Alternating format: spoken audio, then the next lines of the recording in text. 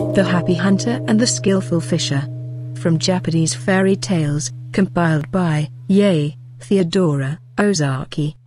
Long, long ago Japan was governed by Hohodemi, the fourth Mikoto, or Augustness, in descent from the illustrious Amaterasu, the sun goddess. He was not only as handsome as his ancestress was beautiful, but he was also very strong and brave, and was famous for being the greatest hunter in the land. Because of his matchless skill as a hunter, he was called Yamasaki Hiko or the Happy Hunter of the Mountains. His elder brother was a very skillful fisher, and as he far surpassed all rivals in fishing, he was named Amisaki Hiko or the Skillful Fisher of the Sea. The brothers thus led happy lives, thoroughly enjoying their respective occupations, and the days passed quickly and pleasantly while each pursued his own way, the one hunting and the other fishing. One day the happy hunter came to his brother, the skillful fisher, and said, Well, my brother, I see you go to the sea every day with your fishing rod in your hand, and when you return you come laden with fish. And as for me, it is my pleasure to take my bow and arrow and to hunt the wild animals up the mountains and down in the valleys. For a long time we have each followed our favorite occupation, so that now we must both be tired, you of your fishing and I of my hunting. Would it not be wise for us to make a change? Will you try hunting in the mountains and I will go and fish in the sea? The skillful fisher listened in silence to his brother, and for a moment was thoughtful. But at last he answered, Oh yes, why not? Your idea is not a bad one at all. Give me your bow and arrow and I will set out at once for the mountains and hunt for game. So the matter was settled by this talk, and the two brothers each started out to try the other's occupation, little dreaming of all that would happen. It was very unwise of them, for the happy hunter knew nothing of fishing, and the skillful fisher, who was bad-tempered, knew as much about hunting. The happy hunter took his brother's much prized fishing hook and rod and went down to the seashore and sat down on the rocks. He baited his hook and then threw it into the sea clumsily. He sat and gazed at the little float bobbing up and down in the water, and longed for a good fish to come and be caught. Every time the boy moved a little he pulled up his rod, but there was never a fish at the end of it, only the hook and the bait. If he had known how to fish properly, he would have been able to catch plenty of fish, but although he was the greatest hunter in the land he could not help being the most bungling fisher. The whole day passed in this way, while he sat on the rocks holding the fishing rod and waiting in vain for his luck to turn. At last the day began to darken, and the evening came, still he had caught not a single fish. Drawing up his line for the last time before going home, he found that he had lost his hook without even knowing when he had dropped it. He now began to feel extremely anxious, for he knew that his brother would be angry at his having lost his hook, for, it being his only one, he valued it above all other things. The happy hunter now set to work to look among the rocks and on the sand for the lost hook, and while he was searching to and fro, his brother, the skillful fisher, arrived on the scene. He had failed to find any game while hunting that day, and was not only in a bad temper, but looked fearfully cross. When he saw the happy hunter searching about on the shore he knew that something must have gone wrong, so he said at once, What are you doing, my brother? The happy hunter went forward timidly, for he feared his brother's anger, and said, Oh, my brother, I have indeed done badly. What is the matter? What have you done? asked the elder brother impatiently. I have lost your precious fishing hook. While he was still speaking his brother stopped him, and cried out fiercely, Lost my hook. It is just what I expected. For this reason, when you first proposed your plan of changing over our occupations I was really against it, but you seemed to wish it so much that I gave in and allowed you to do as you wished. The mistake of our trying unfamiliar tasks is soon seen. And you have done badly. I will not return you your bow and arrow till you have found my hook. Look to it that you find it and return it to me quickly. The happy hunter felt that he was to blame for all that had come to pass, and bore his brother's scornful scolding with humility and patience. He hunted everywhere for the hook most diligently, but it was nowhere to be found. He was at last obliged to give up all hope of finding it. He then went home, and in desperation broke his beloved sword into pieces and made 500 hooks out of it. He took these to his angry brother and offered them to him, asking his forgiveness, and begging him to accept them in the place of the one he had lost for him. It was useless, his brother would not listen to him, much less grant his request. The happy hunter then made another 500 hooks, and again took them to his brother, beseeching him to pardon him. Though you make a million hooks, said the skillful fisher, shaking his head, they are of no use to me.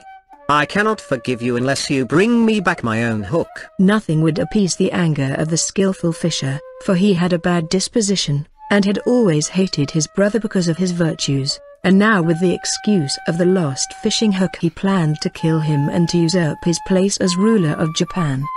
The happy hunter knew all this full well, but he could say nothing, for being the younger he owed his elder brother obedience, so he returned to the seashore and once more began to look for the missing hook.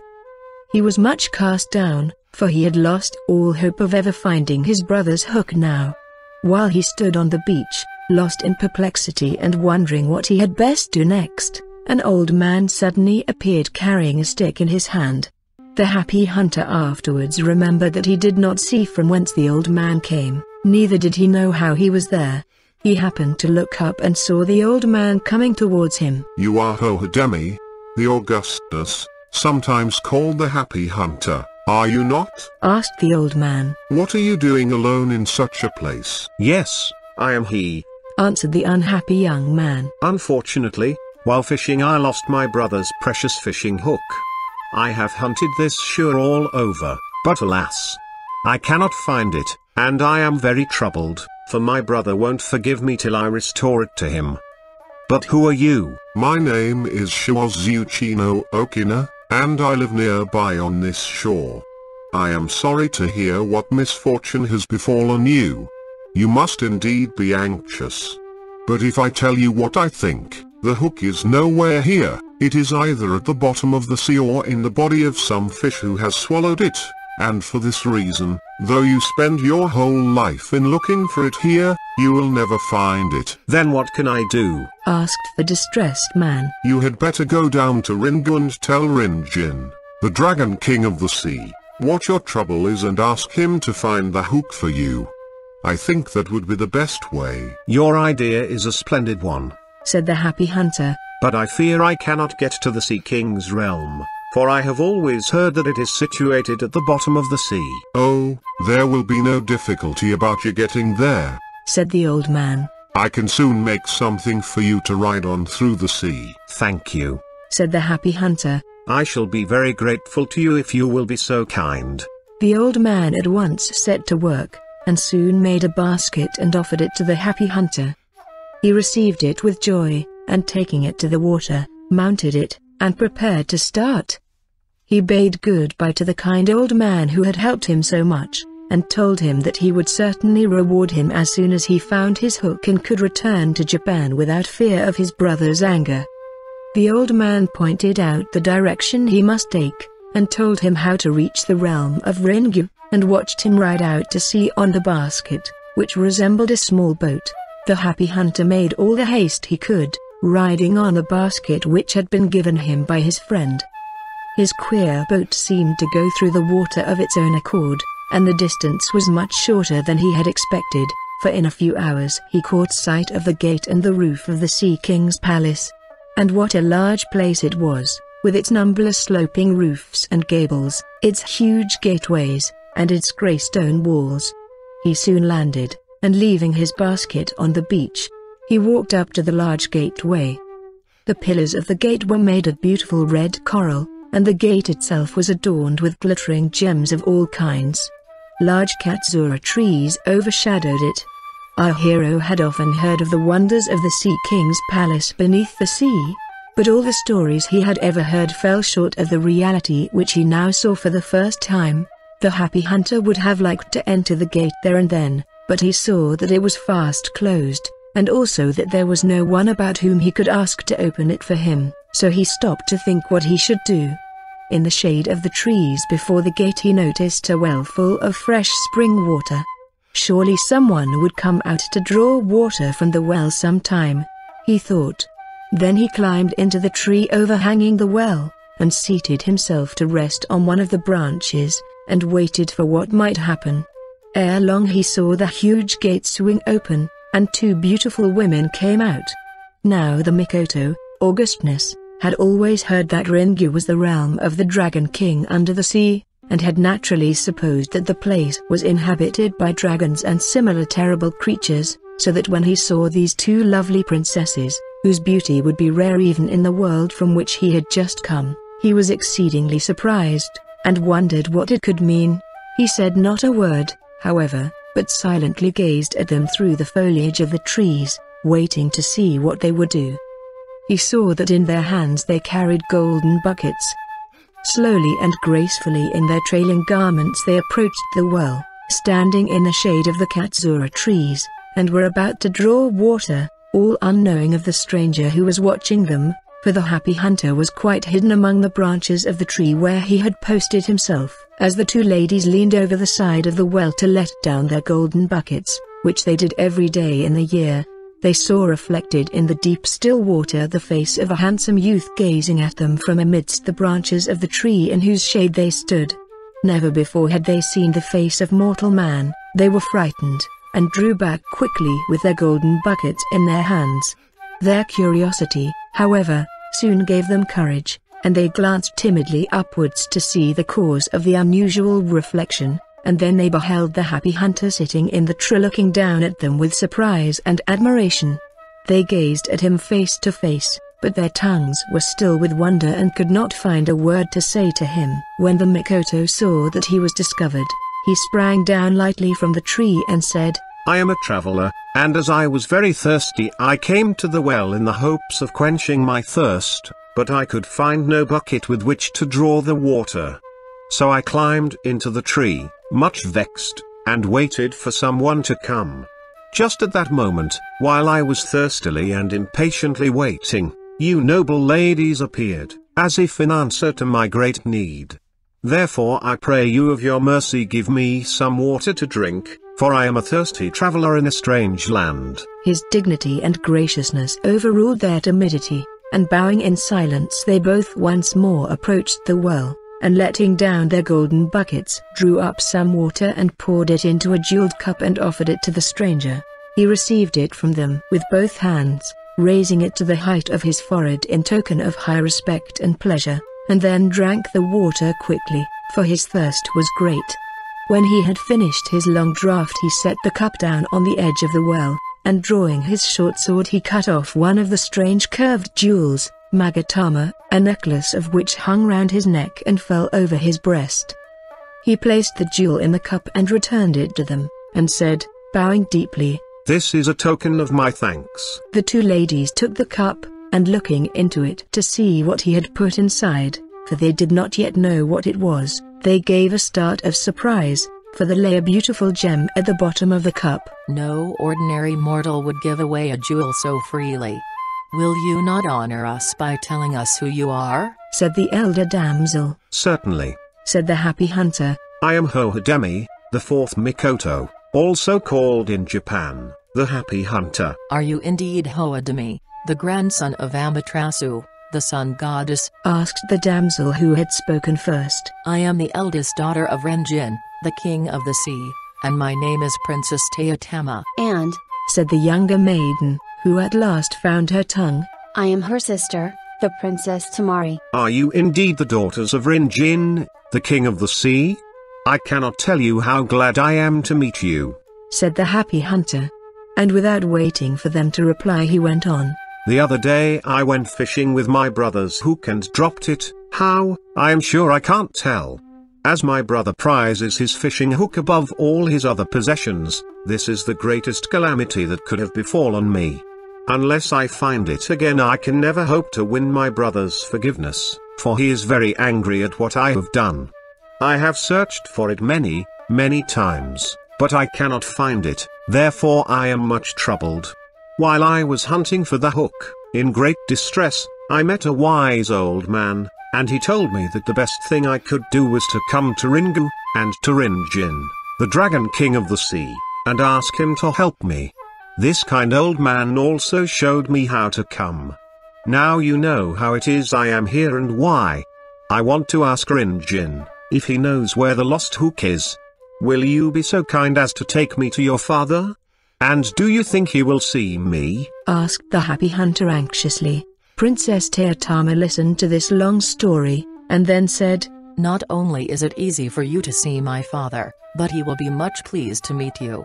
I am sure he will say that good fortune has befallen him, that so great and noble a man as you, the grandson of Amaterasu, should come down to the bottom of the sea. And then turning to her younger sister, she said, Do you not think so, Tamari? Yes, indeed. answered the Princess Tamari, in her sweet voice. As you say, we can know no greater honor than to welcome the Mikoto to our home. Then I ask you to be so kind as to lead the way. said the happy hunter. Condescend to enter, Mikoto, Augustness, said both the sisters, and bowing low, they led him through the gate. The younger princess left her sister to take charge of the happy hunter, and going faster than they, she reached the Sea King's palace first, and running quickly to her father's room, she told him of all that had happened to them at the gate, and that her sister was even now bringing the Augustness to him.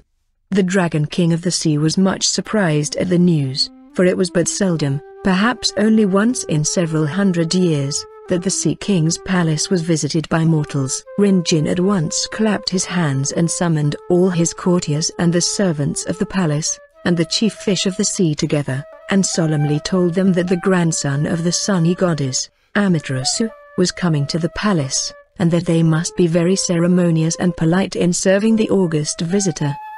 He then ordered them all to the entrance of the palace to welcome the happy hunter. Rinjin then dressed himself in his robes of ceremony, and went out to welcome him.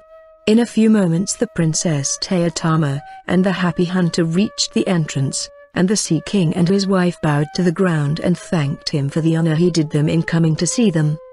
The Sea King then led the happy hunter to the guest room, and placing him in the uppermost seat, he bowed respectfully before him, and said, I am, Rinjin, the Dragon King of the Sea, and this is my wife. Condescend to remember us forever. Are you indeed Rin Jin, the king of the sea, of whom I have so often heard?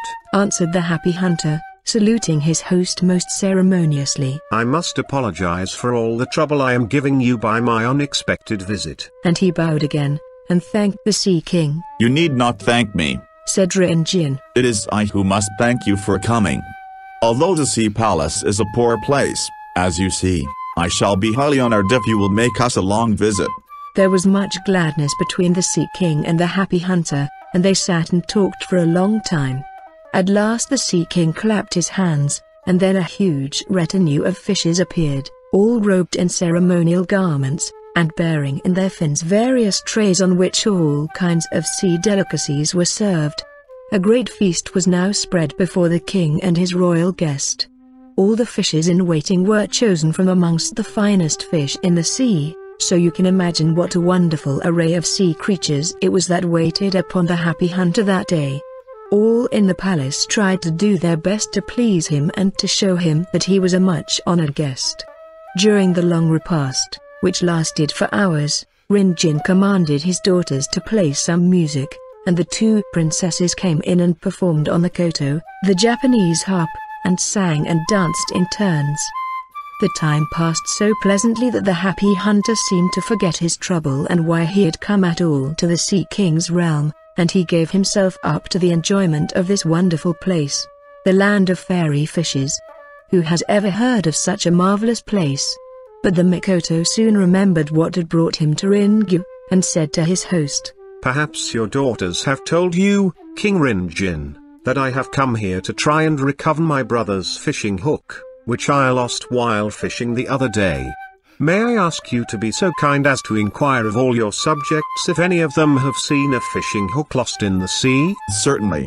said the obliging Sea King. I will immediately summon them all here and ask them. As soon as he had issued his command, the octopus, the cuttlefish, the bonito, the oxtail fish, the eel, the jellyfish, the shrimp, and the plaice, and many other fishes of all kinds came in and sat down before Rinjin their king, and arranged themselves and their fins in order. Then the Sea King said solemnly, Our visitor who is sitting before you all is the august grandson of Amaterasu. His name is Hohodemi, the fourth Augustness, and he is also called the Happy Hunter of the Mountains. While he was fishing the other day upon the shore of Japan, someone robbed him of his brother's fishing hook. He has come all this way down to the bottom of the sea to our kingdom because he thought that one of you fishes may have taken the hook from him in mischievous play. If any of you have done so you must immediately return it, or if any of you know who the thief is you must at once tell us his name and where he is now. All the fishes were taken by surprise when they heard these words, and could say nothing for some time. They sat looking at each other and at the Dragon King. At last the cuttlefish came forward and said, I think the Tai, the red bream, must be the thief who has stolen the hook. Where is your proof? asked the king. Since yesterday evening the Tai has not been able to eat anything, and he seems to be suffering from a bad throat. For this reason I think the hook may be in his throat. You had better send for him at once. All the fish agreed to this, and said, It is certainly strange that the Tai is the only fish who has not obeyed your summons. Will you send for him and inquire into the matter? Then our innocence will be proved, Yes, said the Sea King. it is strange that the Tai has not come, for he ought to be the first to be here. Send for him at once. Without waiting for the king's order the cuttlefish had already started for the Tai's dwelling, and he now returned, bringing the Tai with him. He led him before the king. The Tai sat there looking frightened and ill. He certainly was in pain, for his usually red face was pale, and his eyes were nearly closed and looked but half their usual size. Answer, O Tai, Cried the Sea King. why did you not come in answer to my summons today? I have been ill since yesterday. Answered the Tai. That is why I could not come. Don't say another word. Cried out Rinjin angrily. Your illness is the punishment of the gods for stealing the Mikoto's hook. It is only too true. Said the Tai. The hook is still in my throat, and all my efforts to get it out have been useless. I can't eat, and I can scarcely breathe, and each moment I feel that it will choke me, and sometimes it gives me great pain. I had no intention of stealing the Mikoto's hook. I heedlessly snapped at the bait which I saw in the water, and the hook came off and stuck in my throat. So I hope you will pardon me. The cuttlefish now came forward, and said to the king. What I said was right. You see the hook still sticks in the Tai's throat. I hope to be able to pull it out in the presence of the Mikoto, and then we can return it to him safely. Oh please make haste and pull it out. Cried the Tai, pitifully, for he felt the pains in his throat coming on again.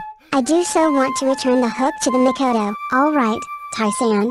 Said his friend the cuttlefish, and then opening the Tai's mouth, as wide as he could and putting one of his feelers down the Tai's throat, he quickly and easily drew the hook out of the sufferer's large mouth.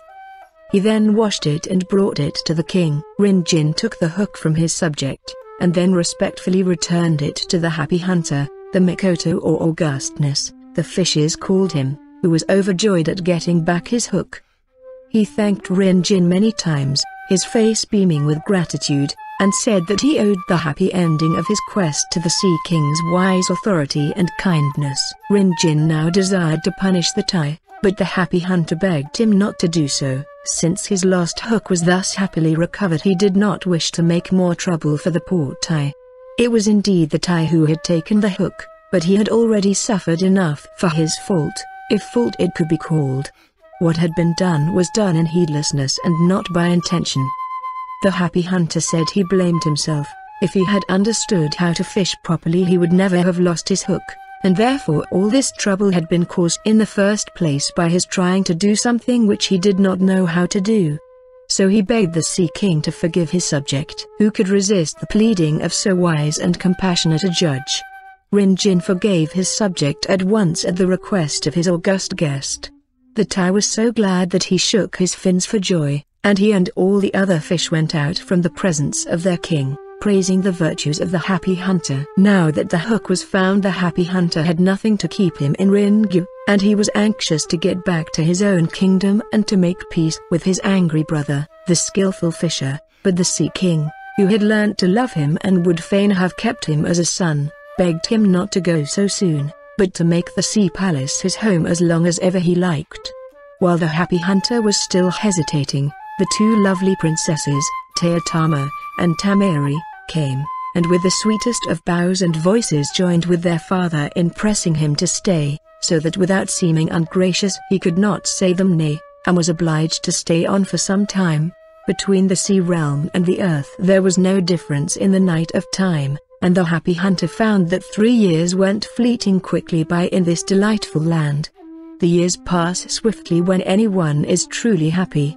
But though the wonders of that enchanted land seemed to be new every day, and though the Sea King's kindness seemed rather to increase than to grow less with time, the happy hunter grew more and more homesick as the days passed, and he could not repress a great anxiety to know what had happened to his home and his country and his brother while he had been away. So at last he went to the Sea King and said, My stay with you here has been most happy and I am very grateful to you for all your kindness to me, but I govern Japan, and, delightful as this place is, I cannot absent myself forever from my country. I must also return the fishing hook to my brother and ask his forgiveness for having deprived him of it for so long. I am indeed very sorry to part from you, but this time it cannot be helped. With your gracious permission, I will take my leave today. I hope to make you another visit someday.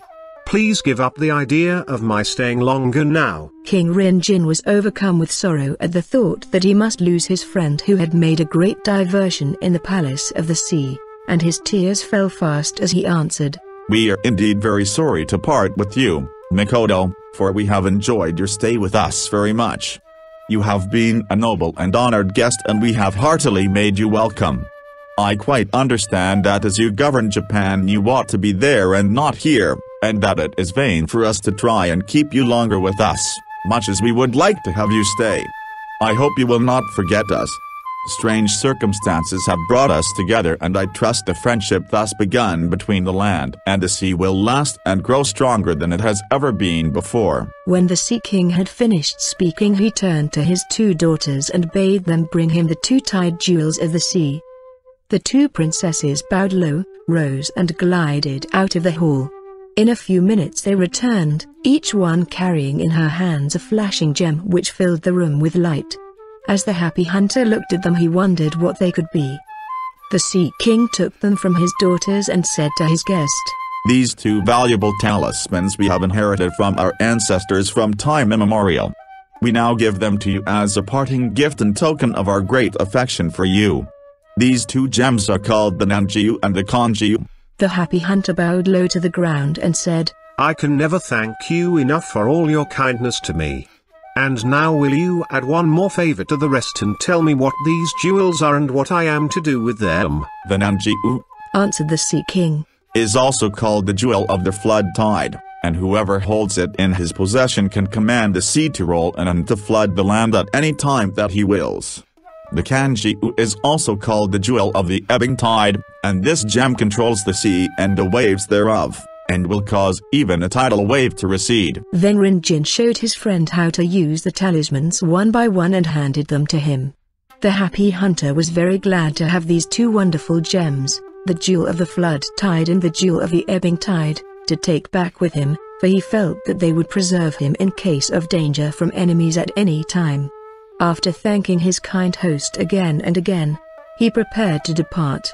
The Sea King and the two princesses, Teotama and Tamari, and all the inmates of the palace, came out to say goodbye, and before the sound of the last farewell had died away the happy hunter passed out from under the gateway, past the well of happy memory standing in the shade of the great Katsura trees on his way to the beach. Here he found, instead of the queer basket on which he had come to the realm of Ringu, a large crocodile waiting for him. Never had he seen such a huge creature. It measured eight fathoms in length from the tip of its tail to the end of its long mouth. The Sea King had ordered the monster to carry the happy hunter back to Japan. Like the wonderful basket which Shiwazuchino Okina had made, it could travel faster than any steamboat, and in this strange way, riding on the back of a crocodile. The happy hunter returned to his own land. As soon as the crocodile landed him, the happy hunter hastened to tell the skillful fisher of his safe return. He then gave him back the fishing hook which had been found in the mouth of the Tai and which had been the cause of so much trouble between them. He earnestly begged his brother's forgiveness, telling him all that had happened to him in the Sea King's palace and what wonderful adventures had led to the finding of the hook. Now the skillful fisher had used the lost hook as an excuse for driving his brother out of the country. When his brother had left him that day three years ago, and had not returned, he had been very glad in his evil heart and had at once usurped his brother's place as ruler of the land, and had become powerful and rich. Now in the midst of enjoying what did not belong to him, and hoping that his brother might never return to claim his rights, quite unexpectedly there stood the happy hunter before him. The skillful fisher feigned forgiveness, for he could make no more excuses for sending his brother away again, but in his heart he was very angry and hated his brother more and more till at last he could no longer bear the sight of him day after day, and planned and watched for an opportunity to kill him. One day when the happy hunter was walking in the rice fields his brother followed him with a dagger. The happy hunter knew that his brother was following him to kill him, and he felt that now, in this hour of great danger, was the time to use the jewels of the flow and ebb of the tide and prove whether what the Sea King had told him was true or not. So he took out the jewel of the flood tide from the bosom of his dress and raised it to his forehead. Instantly over the fields and over the farms the sea came rolling in wave upon wave till it reached the spot where his brother was standing. The skillful fisher stood amazed and terrified to see what was happening. In another minute he was struggling in the water and calling on his brother to save him from drowning. The happy hunter had a kind heart and could not bear the sight of his brother's distress.